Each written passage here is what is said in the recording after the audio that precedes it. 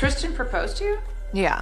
New details on Khloe Kardashian and Tristan Thompson's history have been revealed, and we're just trying to keep up. E! News confirms that while Khloe rejected the NBA star's marriage proposal in December 2019, she said yes in February 2021. In fact, fans may recall Koko fueling the engagement rumors with a giant diamond ring around that time. And it turns out the two had remained engaged until news broke about Tristan fathering a son with Maralee Nichols. The revelation comes as a shock to fans, especially since Khloe discussed turning down Tristan's original proposal in the September 29th episode of Hulu's The Kardashians. And what I said, I said, I, I need to make sure this is a totally different relationship because I want to be proud to say I'm engaged to anyone. And that's why mm-hmm. I said, you know, I'm not comfortable accepting this right now because I'm not excited to tell my family. Tristan welcomed a son named Theo with Maralee Nichols in December 2021. And months later, multiple sources confirmed that he and Khloe were expecting their second child together. A source told E! News in July the baby was conceived via surrogate before it was revealed to Khloe and the public that Tristan was having a baby with someone else. Viewers recently got to witness the birth of Khloe and Tristan's baby baby boy in the season 2 premiere of The Kardashians.